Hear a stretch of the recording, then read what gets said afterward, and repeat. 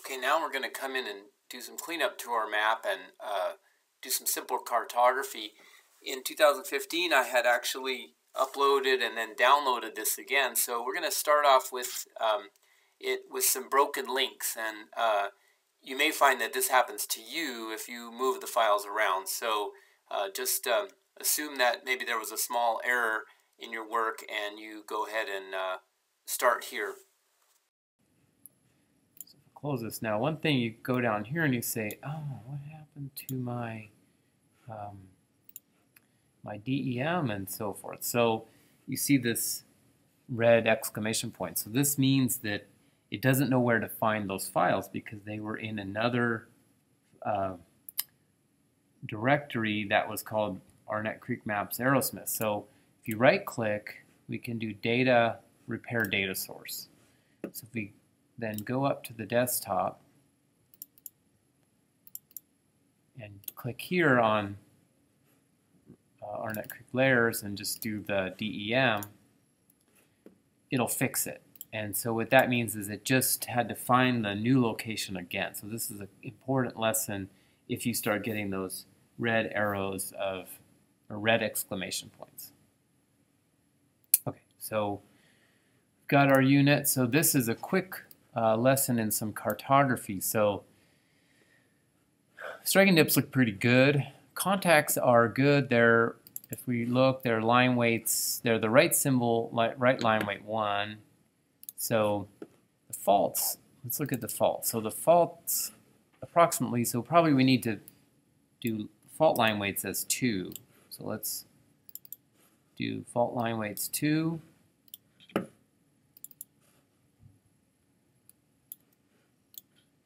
Okay, so now the Arnett units, this one's going to take a little work to symbolize correctly. So the first thing is, let's put the these guys in the right order.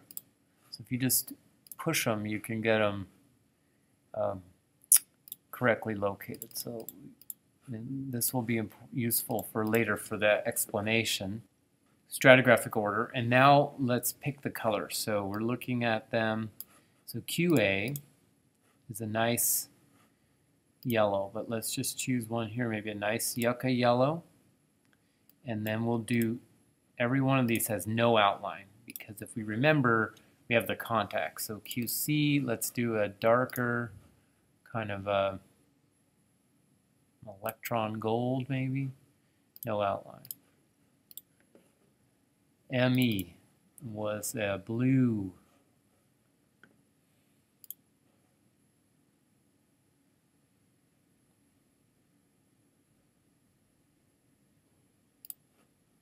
no outline. This was a purple.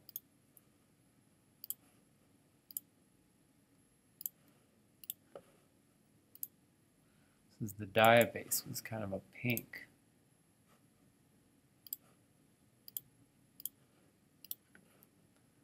Troy is a green.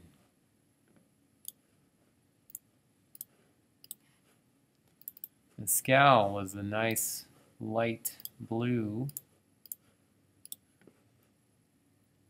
Dripping Springs is another is a sort of a bright orange.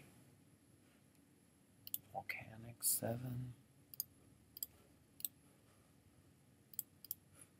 Pioneer was a brown.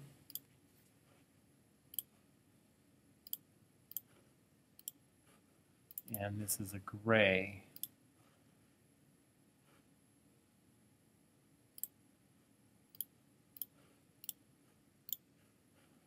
Okay, so now we've got a nice looking map with with the uh, polygons not having any outlines, and so that way the contacts are looking more correct. So I've got one error over here, which is that, um,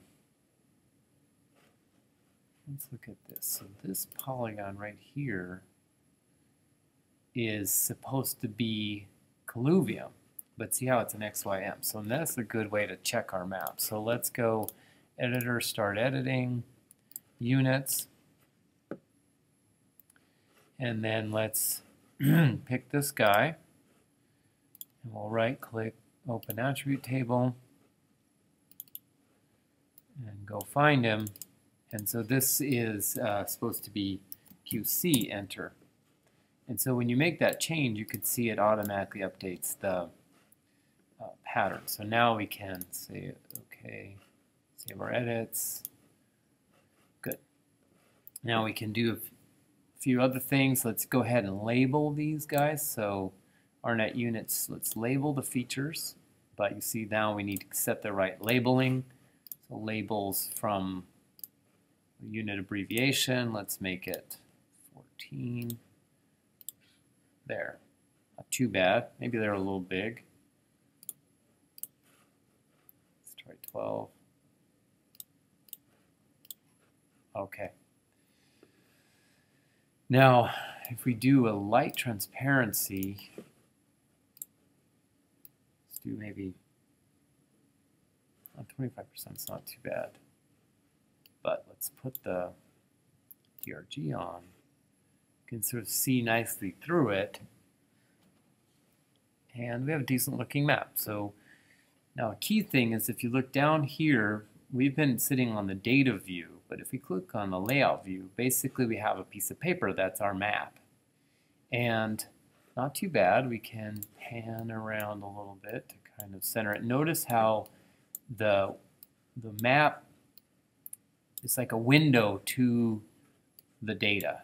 And so that when we pan using this, we don't actually move around on the piece of paper, we move in the map. And our little view here, uh, is, which is called a data frame, is exactly fixed our uh, north arrow in. So insert north arrow.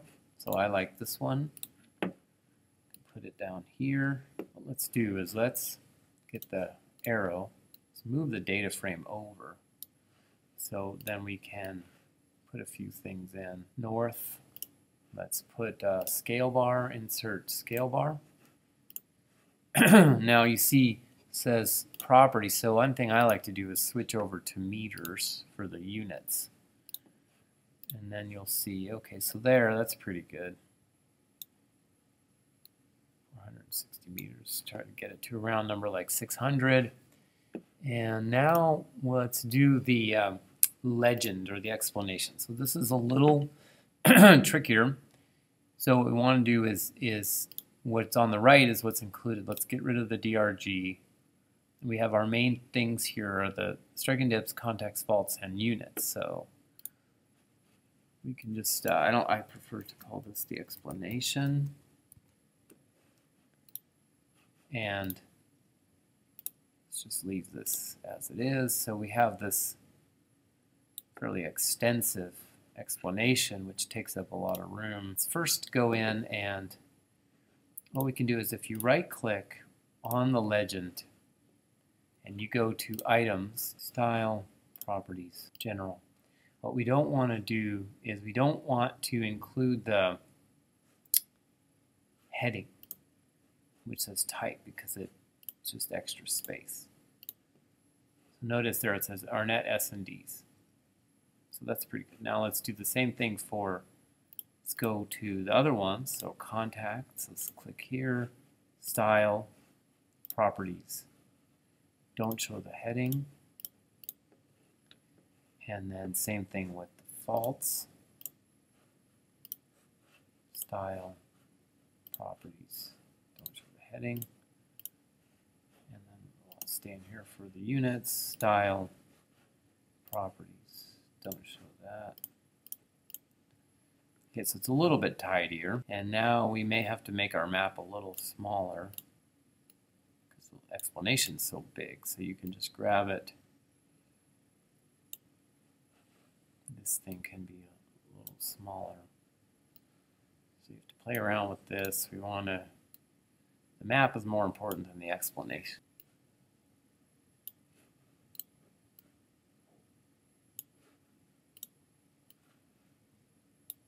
Finally, if we want to put a little text in, let's say we can just click over here. So it says, so we have to find it, and we can say, you know, geologic map of Arnett Creek, Ramon Arrowsmith,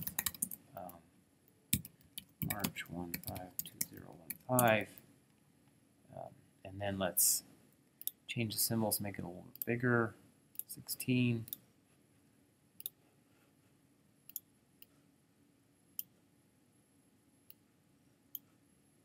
Now it's a little wide, maybe.